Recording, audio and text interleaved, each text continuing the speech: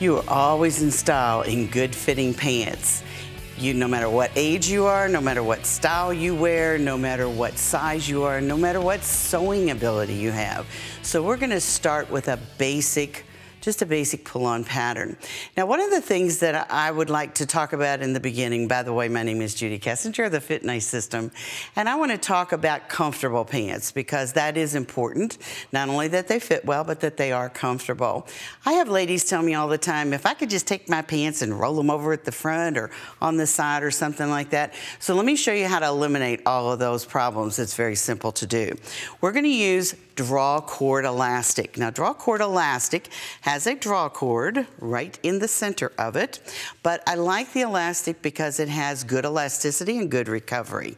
So what I'm gonna do is I'm gonna take a piece of elastic that's comfortable, and the way you make this elastic comfortable is to take it, stretch it snug around the fullest part of you, which is usually your hips, and then you're going to take the two ends and sew them together. Now, I'm gonna talk a little bit more about this at the end.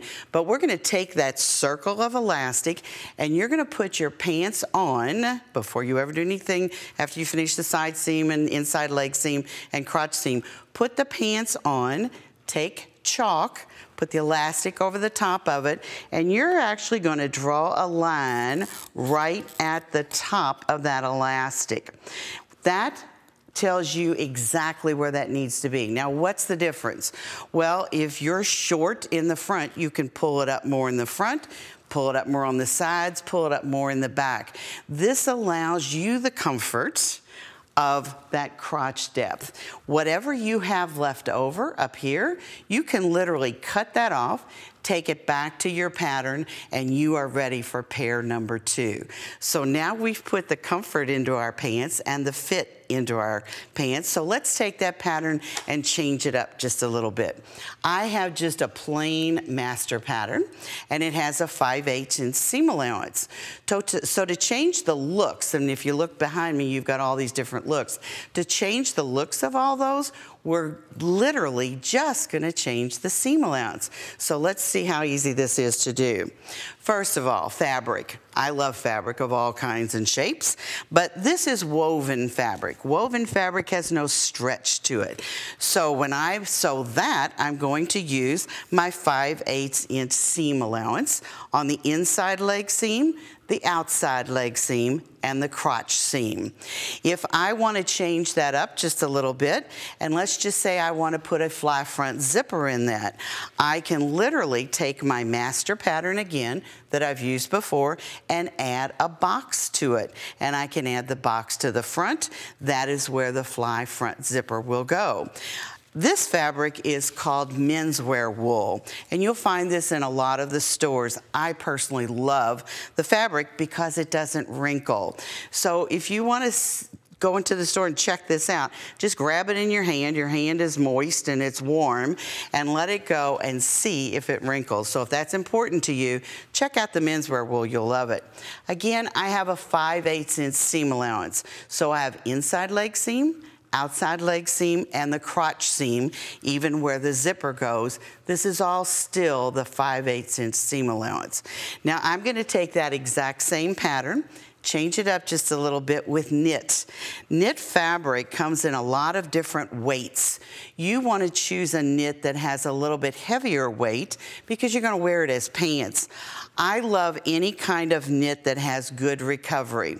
So when you go into the store to shop for your knit, don't do this. We'll take just a little piece.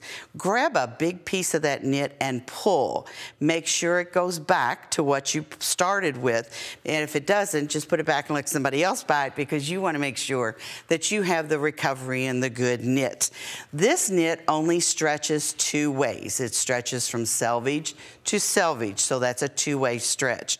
When you make your knit pants, we're gonna change it just a little bit more, and we're gonna use an inch seam allowance, same pattern now, you haven't changed the pattern, inch seam allowance on the outside leg seam, inch seam allowance on the inside leg seam and keep that 5 8 inch crotch seam. Now remember, we shortened this just a minute ago, so that crotch seam is gonna be really comfortable. If you look behind me, you can see that the one, the, the garment that has the green top to it, those pants are knit. So it's a beautiful, beautiful way to get a narrower leg in the thigh area and in the bottom of the leg. So you have a really pretty knit that way. Now this is a four-way stretch and I call these pants lady legs. They're ladylike leggings. Maybe you don't want that really, really tight fit of leggings, but you want a softer fit. This is simple to do. First of all, a lot of this is in that fabric. Make sure when you buy fabric to do this style, you want to make sure that it has four-way stretch. So you can see I'm stretching it from selvage to selvage, but guess what? I can also stretch it lengthwise. Again, make sure that fabric has good recovery. When we do this one, we're going to do an inch seam allowance on the outside leg seam, an inch seam allowance on the inside leg seam, and believe it or not, we're gonna do an inch seam allowance on the crotch. And that just graduates those seam allowances and it graduates that fit without having to make a new pattern. So look at all the different styles that you can do from that one pattern. Now I'm gonna change just a little bit. This is an easy one, I promise you, because I'm all for easy. This fabric is called ITY, and you may have seen that on some of the um, shopping uh, sites for fabric. That means interlock twist yarn. It's a knit, it stretches, and it's kind of a slicky fabric. Most of your ITY fabric is a print. So choose a print that you really like. Now I'm gonna take that plain pattern, obviously it's a little pattern, and I'm gonna lay it on another piece of, of a Pattern-Ease or some kind of tracing material. And I'm literally just going to add, as you can see, to the side seams. So more like a little rectangle or a little triangle down here. And when you make this style, you're gonna wind up with more of a skirt look. These are called palazzo pants. They've been around for a long, long time, but now they're calling it the new wide leg pants. Very, very comfortable. It's the last one over here, and you can see it has a black t-shirt with it, but look how cute that looks at the bottom. So you get a little bit more fullness. Now that we've had fun with all of this, let's go back and talk just a little bit about the draw cord elastic. I told you there was draw cord in the middle of it, and people ask me all the time, why do you want to use draw cord elastic? Well, one of the problems that a lot of ladies have with pull-on pants is they don't stay up. They sit down and they have to rearrange the top of their pants. The draw cord elastic has a cord in the middle. And by the way, there's double amount of cord in whatever amount of elastic you use. So when you cut, after you've sewn this in and you cut that cord, you tie the cord and your, that cord acts exactly like a fitted waistband. So it's absolutely fabulous.